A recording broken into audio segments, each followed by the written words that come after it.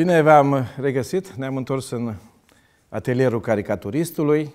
Încă ne hotărâm cu ce vom desena astăzi, folosim creionul sau uh, acest creion pentru tableta grafică. Clar că vom merge spre o zonă de asta mai, mai, mai modernă, mai normală în zilele noastre și vom uh, folosi tableta grafică. Setăm acum să putem să ilustrăm, pentru că ilustrăm în dublu sens, folosim ilustrația ca și mod de a transmite ceea ce caricaturist a înțeles din citirea textului biblic și ilustrația grafică.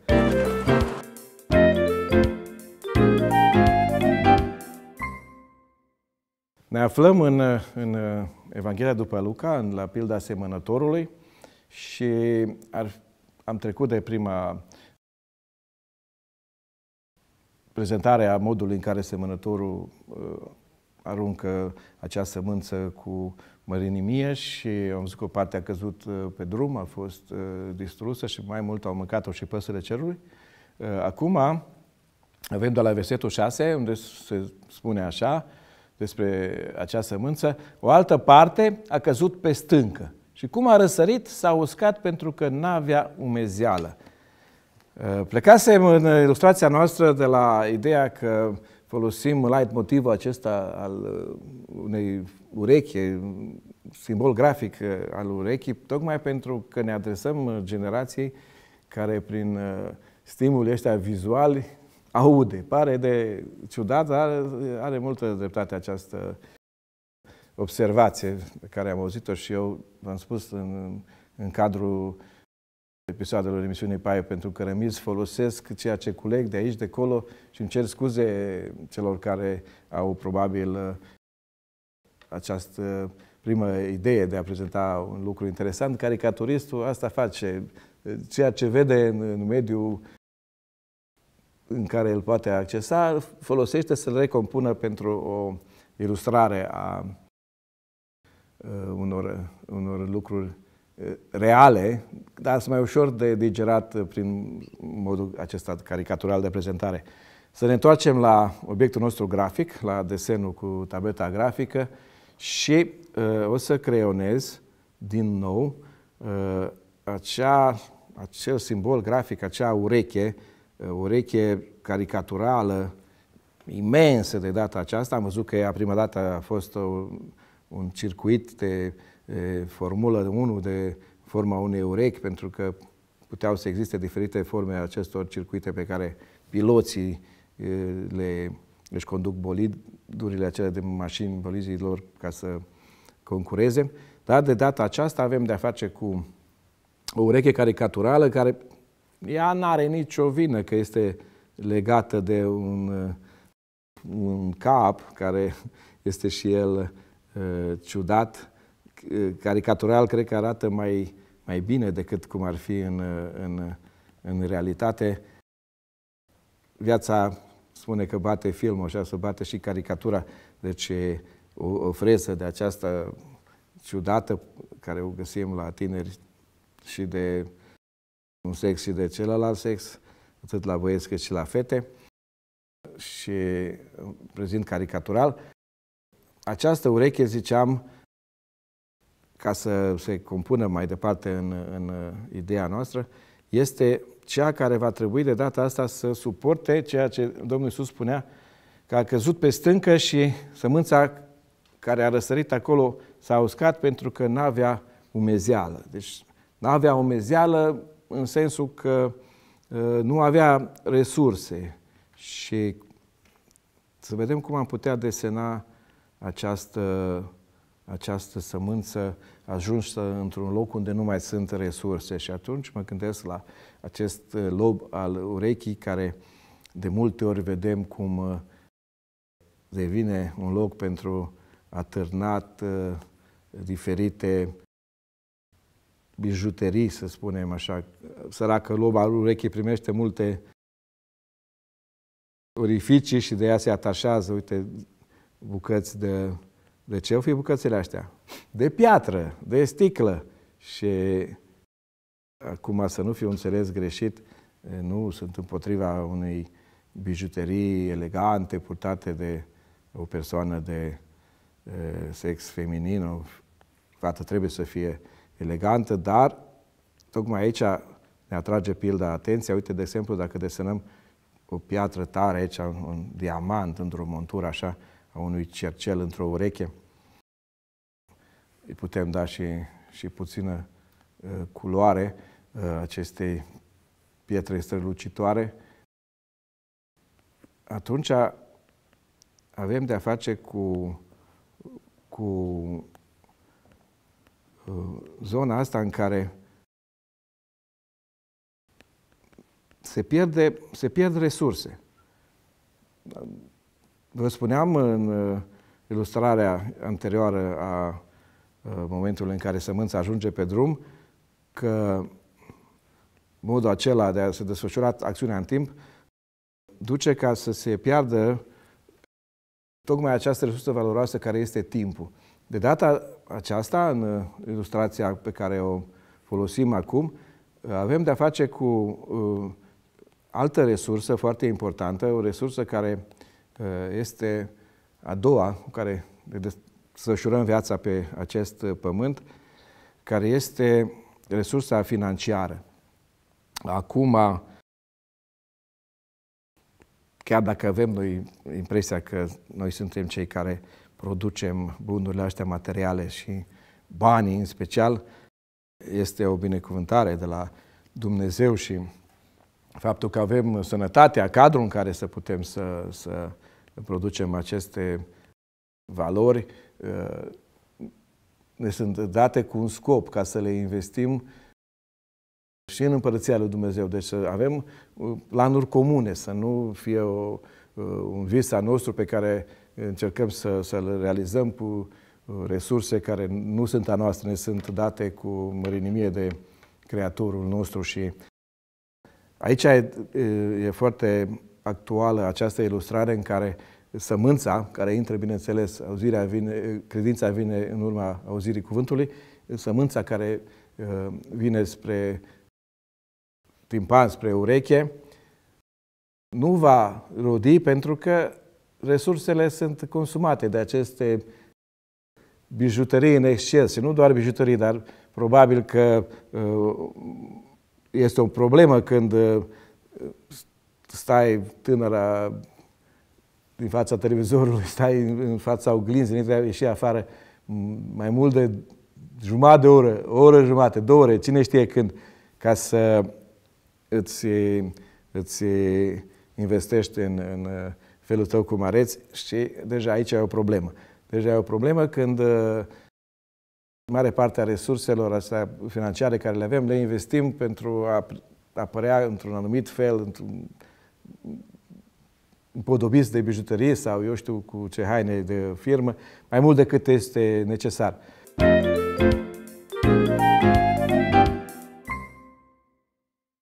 Lăsăm această imagine, continuare, pe ecranul uh, acestui device pe care desenăm și vedem ce spune mai departe. Pilda noastră spune o altă parte a căzut în mijlocul spinilor. Spinii au crescut împreună cu ea și au înecat-o. Oare cum ar acționa spinii? Ca să crească un spin e nevoie de un ghiveci, mă gândesc. Hai să desenăm, sau un suport în care are, eu știu, un sol hrănitor. Și atunci hai să desenăm acest acest suport, acest ghiveci, o să facem uh, o cutie de asta pe care o avem fiecare în buzunar. Unii au chiar și două, hai să facem și noi două cutii de astea cu un ecran, au și un mic, uh, o mică cameră de luat vederi, deci pe ecran apar tot felul de simboluri care te duc încoace încolo. Și de aici trebuie să ai un cablu ca să poți tu să, să asculți ceea ce vrei tu în în intimitatea ta, adică cât mai ascuns și vedem cum acest cablu crește asemenea spinilor. Uite, să-i facem și niște uh, de asta de spin de atașare, niște vârfuri. Crește acest cablu și ca păcatul vine și te înfășoară încet, dar sigur, da? Și unde credeți că ajunge? Hop! tot în urechea noastră.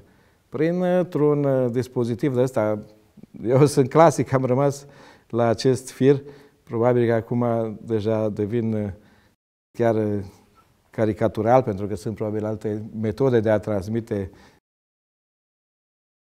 această muzică pe care o avem aici în, în, în acest telefon, zis că e mai mult decât un telefon.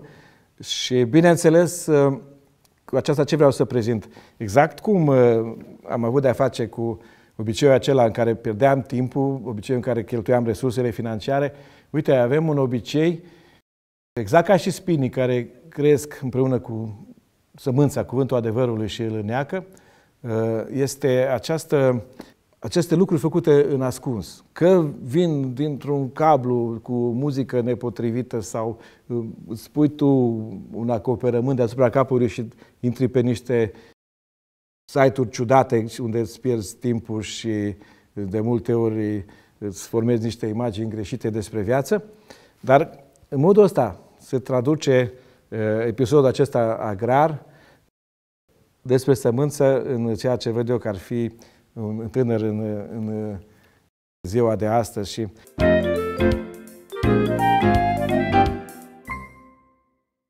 ca să încheiem cu ilustrația care o avem, avem o, o planșă în care vom desena, vom ilustra ceea ce spune în versetul 8. O altă parte a căzut pe pământ bun și a crescut și a făcut rod însutit. Să ne întoarcem la ideea inițială de uh, mașinuță de curse condusă pe un uh, circuit care nu făcea decât să, să aducă uh, pierdere de timp. Dar de data asta vom desena o mașină de curse care este folosită pe un traseu al Victoriei și pentru aceasta, uite, e o cască de pilot așa mare, să-i facem și un, și un decor, un decor așa sub formă de, cred că ați recunoscut, formă de spic de grâu. Spic de grâu care aduce în cadrul acestui concurent, aduce rod, la unii însutit, depinde cum, pentru că există și acest uh, pământ bun, unde sămânța cade și aduce rod. Pentru aceasta există momentul în care tinerii trebuie să, să știe, să ia foarte în serios perioada aceasta de instruire pe care, de care profită aici pe pământ, în perioada de instruire în care au contact cu o școală bună, cu un uh, mediu bun în cadrul unei biserici sau în cadrul unei familii creștine care îi vor uh, crea în viață o viziune corectă uh, asupra ceea ce trebuie să, să facă și în același timp va produce rod. Felul lui de a se purta acestui tânăr care este un campion va aduce, va aduce rod și va influența și viața altor tineri. Asta este foarte important.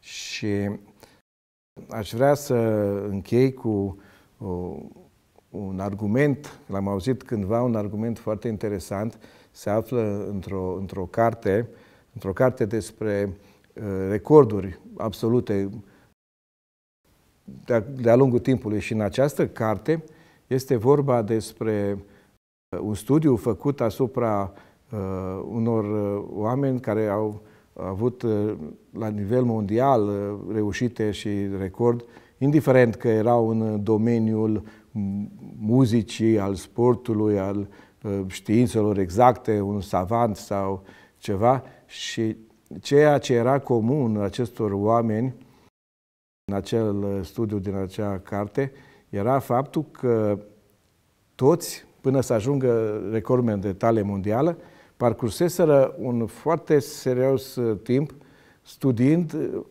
foarte concentrați, focusați pe activitatea lor sau antrenându-se în mod asidu un număr de 10.000 de ore. Cartea este scrisă de Malcolm Gladwell și ceva înseamnă mai mult uh, outlayers, mai mult decât uh, să suntem noi încorsetați în uh, aceste chestii care trec peste, peste normalul vieții noastre și ceea ce auzeam și eu adunând aceste paie pentru cărămizi de la vorbitorul care a adus prima dată în discuție acest exemplu, este faptul că cele 10.000 de ore necesare pentru a deveni un, un recordman de tale mondială sunt valabile doar dacă sunt împlinite 10.000 de ore. Uh, partea tragică era că la 7.000, chiar la 8.000 de ore de studiu asidiu, uh, erai doar un mediocru la 8.000.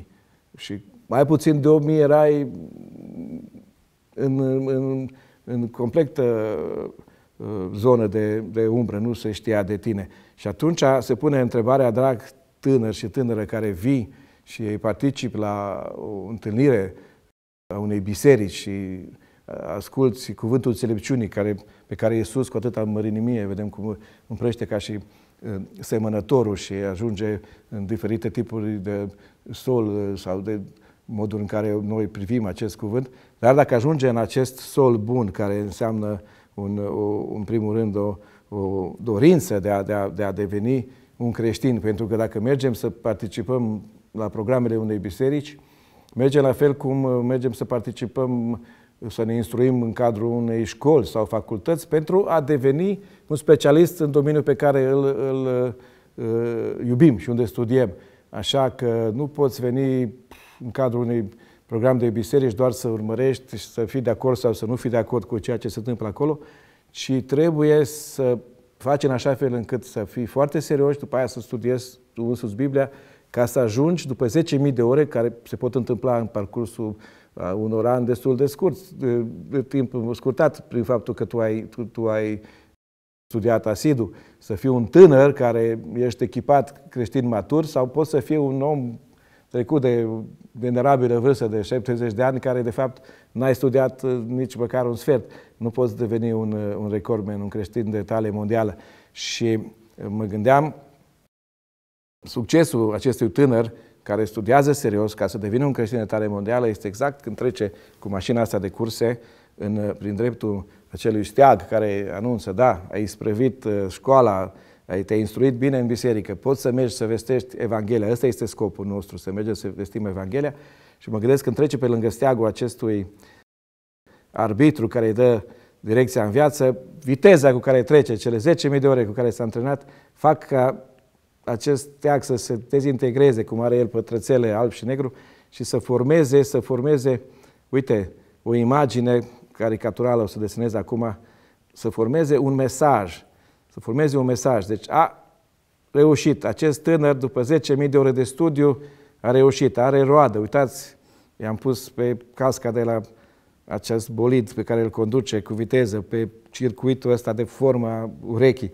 Și voi desena foile astea, care de fapt sunt pagini, pagini din Evanghelie, care trebuie să ajungă la oameni din orice seminție, din orice națiune, cum vor ajunge? Decât prin acești tineri care uh, vor deveni creștini maturi, recordmele de tale mondială. Ceea ce vă doresc să se întâmple cu fiecare dintre voi și să urmați exemplul caricaturistului, pentru că uh, eu am luat foarte în serios desenul caricatural și am cei 10.000 de uh, am cele 10.000 de ore de studiu focusat de desen asidu și aceasta mi-a adus și mie un, uh, în anul 2005 în Franța un uh, record mondial. Am fost declarat cel mai rapid portretist uh, și încă sunt până ziua de astăzi, reușind 137 de crochiuri, schițe așa dintr-o parte, dar toate acestea după o viață întreagă în care am desenat asidu și m-am concentrat pe, pe ceea ce am vrut eu să, să găsesc, să folosesc din acest mod de grafică, satirică și caricatură. Vă mulțumesc și vă aștept uh, într-un episod viitor.